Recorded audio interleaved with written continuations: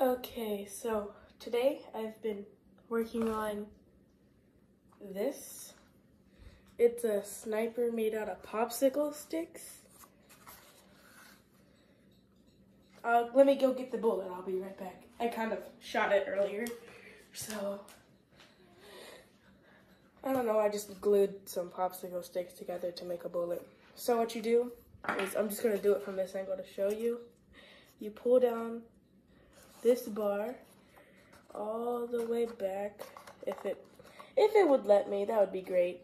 All the way back to here where it's hooked on to see that little line right there.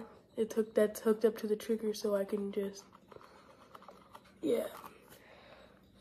And then you put in the bullet right there like this if it would go in.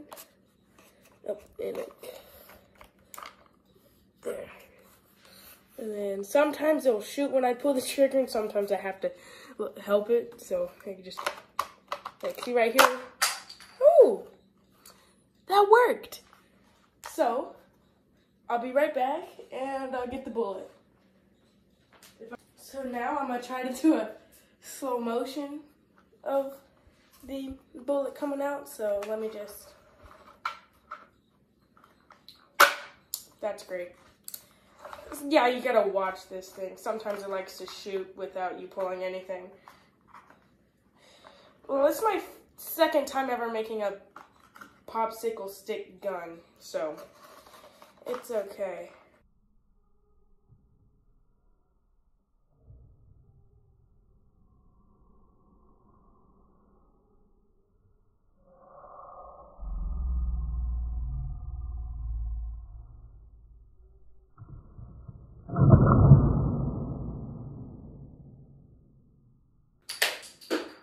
There we go.